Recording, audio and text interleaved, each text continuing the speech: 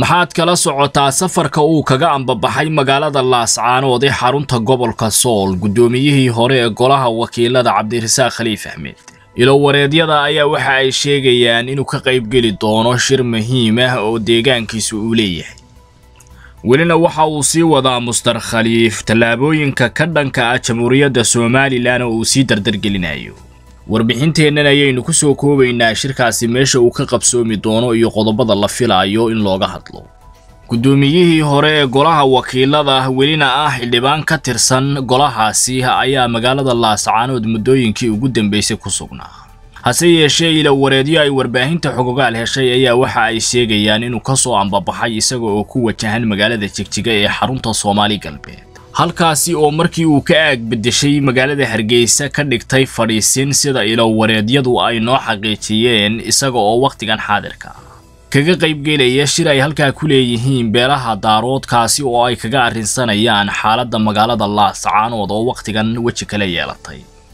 Caalamka oo xoojiyey aragtida iyo siyaasadda somalilan ee ku aadan magaalada laascaanood iyo doodo xoog leh oo ay ka jawaabi kari waayeen ayaa lagu falaqayn doonaa shirkaasi cabdirasaaq khaliif axmed oo ah guddoomiye ku-xigeenka guddida siyaasiyiinta beelaha daarood. Ayaa waxa uu ka soo ambabaxay magaalada laascaanood isaga oo ay gelbinayaan ciidamada huwanta ah ee muddooyinkii ugu dambeysay halkaasi ku sugnaa. Dhexdhexaadinta etoobiya ay ka dhex wado bariga sool iyo somalilan ayaa shirkan ku jiri doona arrimaha looga wada hadli doono waxaana lagu gorfaynayaa sidii qodobo wax ku ool ah oo somalilan dhaabado adag ku noqda miiska ay ula tegi lahaayeen. Iyo qodobka ugu weyne la xoojinayo siyaasiyiintuna wakhtigan ay ku lafagurayaan shirkoodan oo ah inan caalamku u arkin deegaanka bariga sool dad nabadiid ah oo xasilooni darrada iyagu ka abuuray magaalada laascaanood iyadoo albaabo badani wakhtigan xaadirka ah ay ka soo xidhmeen oo uu ka mid yahay kii dowladda federaalka ah ee soomaaliya waxaana wakhtigan ka soo afgo-ay siyaasaddii midnimo doonka oo wakhtigan ay u aragtay dowladda federaalka ah ee soomaaliya inay wax ku dhex jiraan madaxweyne xasan sheekh maxamuud ayaana ku soo celceliyey inay nabadgelyo iyo xasilooni ku doonayaan midnimada soomaaliyeed. Arrintani oo siyaasiyiinta beelahaasi ku noqotay caqabad kale ayaa wakhtigan xaadirka ah lagu lafaguri doonaa shirkaasi.